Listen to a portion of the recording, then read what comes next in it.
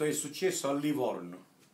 Un livornese esce dall'ufficio e vede a un poro disgraziato che si mangiava l'erba.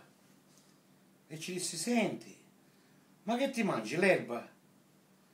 Dice, sai, io sono povero albanese, ho fame, dice, piuttosto di andare a rubare, meglio mangiare erba. A questo ci faceva lo cuore, dice, poveretto. No, dice, lascia stare, ti porto a casa mia, mangi a casa mia. Sì, io la ringrazio, ma c'è pure mia moglie. Allora questo qua ci pensa un po', ci dice, e eh vabbè, porta pure a tua moglie, avanti.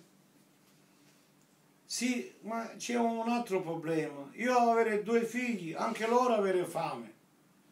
Questo ci pensa un po', dice. E va bene, venite, tanto, dietro casa mia c'è un bel prato grandissimo con l'erba alta un metro tanta.